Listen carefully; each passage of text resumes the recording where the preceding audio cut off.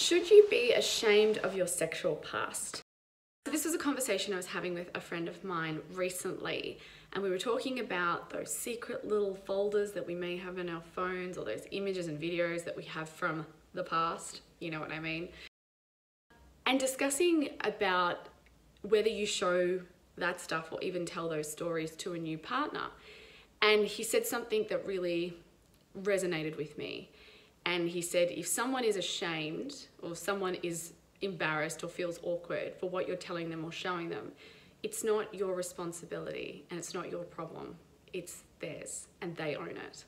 And I thought, wow, that was so right because, and especially I feel like this happens for a lot of women, is that in our youth and when we are young and experimental. I mean, you might not even be young and experimental. You might be middle-aged and experimental. But whenever you go through that phase in your life where you start to experiment sexually, if you do find yourself at some point after that in a more serious relationship, then sometimes those conversations are had about what you've done in the past and what you've experienced and explored. And for a lot of women, I feel as though that there are certain things that somebody can deliver a sense of shame about we still have this notion that it's like women can explore and experiment with their sexuality to this certain point and then past this point we're going to shame you and tell you that you're slutty or you're too experimental or you've had too much sex. But the problem is is this point doesn't have an actual definition. We don't know where that is going to be. It's going to change for each individual person.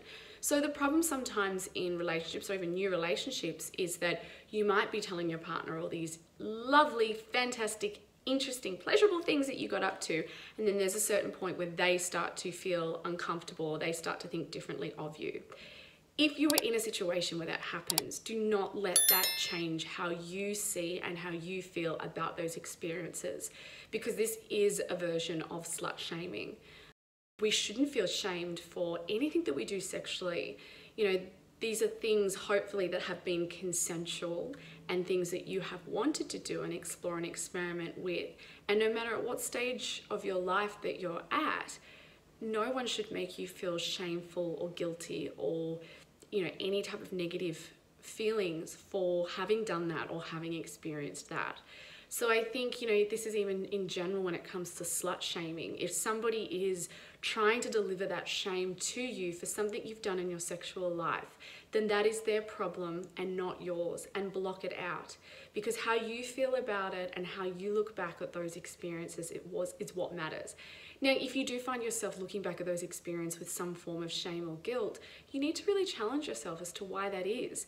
Is it the feelings from somebody else that have rubbed off on you? Is it the way that society sees women and you feel that maybe you had regret even if an experience didn't turn out the way that you want it to. You know, say that you felt really connected to somebody and then they never return your calls, or someone was disrespectful, or someone did cross a boundary.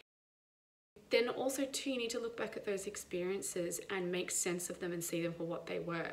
Maybe it was an experience that taught you something about yourself. Maybe it was an experience that taught you how to protect yourself and how to speak up for your boundaries. And even if it was awkward and uncomfortable and not a pleasurable experience, there's something that you can take away from that and learn from, and also maybe even protect yourself in the future because you've had that experience. Now, kind of like a little asterisk thing. This doesn't mean like if someone has been raped or experienced a lot of trauma, I don't think that I should in any way, shape, or form try and change the way that you see that. But I'm more talking about the lighter, more awkward, he never called me back, didn't really feel good, wasn't the right person to have sex with situations. So if you have experienced any type of trauma or rape or abuse, then how you deal with that and how you see with that moving forward is how you need to cope and, and move past that experience.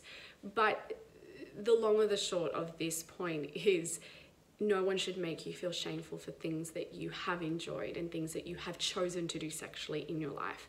No matter if that is someone on the street, someone that you meet in a bar, or even somebody that you're in love with. Okay, so I hope that one helps.